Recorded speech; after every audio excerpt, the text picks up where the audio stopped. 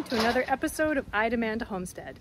My name is Amanda, and today what we're going to be doing is we're kind of trying to further our journey to sustainability by trying to um, install a solar pool heater um, for our pool here. And as you can see, Dave is going to be my um, partner in crime as we try and get this done. Okay, so here's our pool. Um, it is 18 feet or 16 feet by 32 feet. Um, and as you can see, we've got a solar blanket on it. Um, and up till now, we have had a gas heater, which has just broken, um, which is actually kind of fine with us because we're trying to get off gas. Um, and so this is a great opportunity for us to do that. So we are going to be installing solar. So this is what we're going to be doing. You can see Dave is climbing up the ladder. Hello, Dave. Don't fall off the roof. Ah! Okay, so we're gonna be installing these solar panels here. Um, and these are two feet by 20 feet. Um, and we, so we've got four of them. And that should be enough. We may need to kind of add another two. We're gonna kind of wait and see. Um, but that's what we're going to be installing today. So we are lucky because we have a bungalow and we have a um, west facing roof I mean, south facing would be even better, but um, this is this is pretty darn good. This area gets an awful lot of sun, so that's where we're going to be installing them on that roof. And then over here to the side is where our pool pump is, so that's where the pipes are going to be coming down to pump the heated water out to the pool. Okay, so here we are on our roof. There's our pool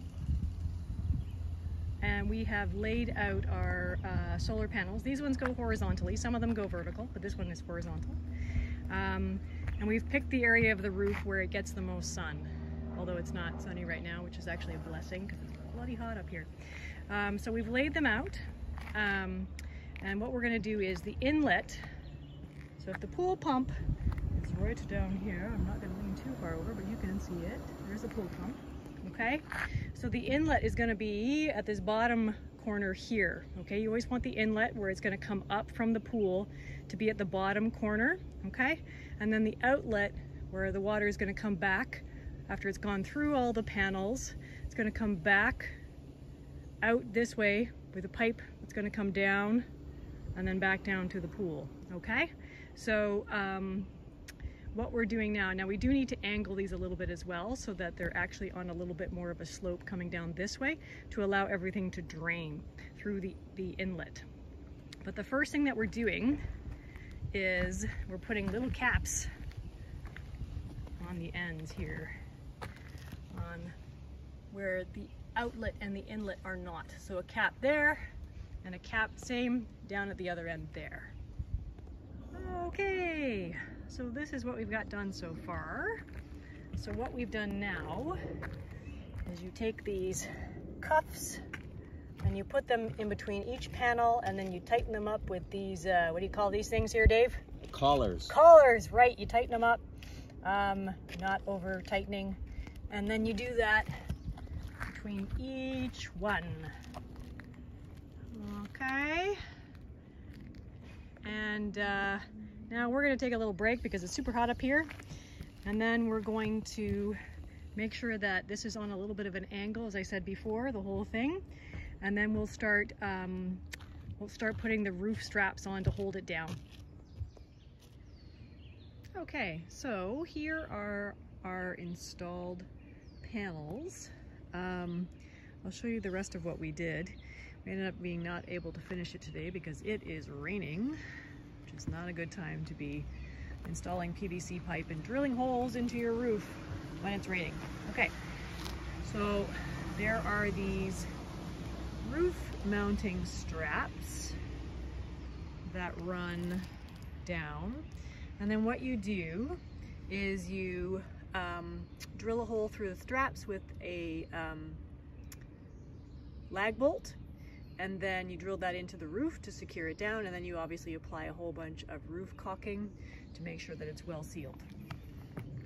And we have done that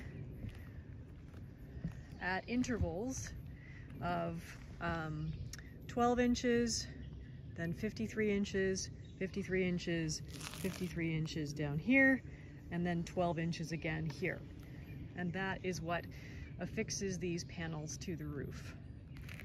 And then what we're going to do in the next episode is we're going to show how we do the PVC plumbing that attaches the um, inlet here to the system coming from the pool pump down to the pool pump and then the outlet which is over there and the PVC that we're going to run along here and then down and then again down to the pool pump. We're also going to put um, a diverter in place because what that basically allows us to do is shut off the system from pumping water up to the panels, which we'll do at night. Because if you allow it to continuously run, what happens then is, is that when it cools down at night, it actually cools down your pool at nighttime, and that's not what we want. So we want to be able to divert the system to just be a regular pool pump at that point. So that's what so thank you for joining me on another episode of I Damanda Homestead. Um, I know this is maybe a little bit not, not a gardening type, type column, but um, we're trying to kind of get off gas and this is one way that we are trying to do that.